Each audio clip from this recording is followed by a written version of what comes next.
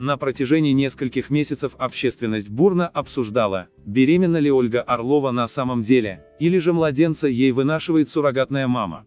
Хейтеры убеждали, что артистка носит накладной живот и обманывает публику. Неожиданно к числу хейтеров присоединилась Алла Довлатова. Людям не нравится, когда их дурачат. Рожаешь сама, молодец. Рожает суррогатная мать, тоже хорошо. Главное, чтобы ребенок родился здоровым, ведь кто-то не может по медицинским показаниям, у других свои причины.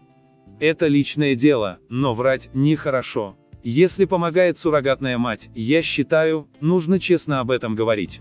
Иначе не будет доверия у аудитории, написала она под публикацией, где обсуждалось интересное положение Ольги. Сказанное сильно задело подругу Орловой Ксению Бородину. Вы во всем видите вранье, потому что сами много врете. Поработайте с этим. Вам все время чудится, вы уверены в том, что с эмоциями живых людей можно играть, как захочется. Зачем вы трогаете беременную? Зачем? Вы в какой момент в зверей-то превратились? Довлатова, вы вроде публичная персона. Вам что хайпа захотелось? Именно такого. Вы родили в 43, а Оля в 45 чем хуже. Или вы не сами рожали, поэтому теперь вам всюду чудится обман. Позор. Восклицала брюнетка. Однако ведущая русского радио объяснила, что имела в виду совсем не это. Она лишь говорила об абстрактной ситуации и никак не хотела задеть Орлову. У меня такое ощущение, что это была запланированная акция.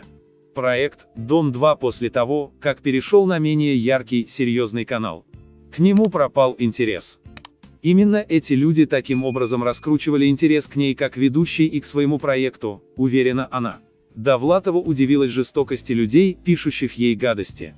Помню, утром просыпаюсь, вижу, все обсуждают свой живот, чужой. Я никогда не пишу комментарии, а тут я комментирую. А какая разница? Свой живот или чужой, суррогатная мать или сама?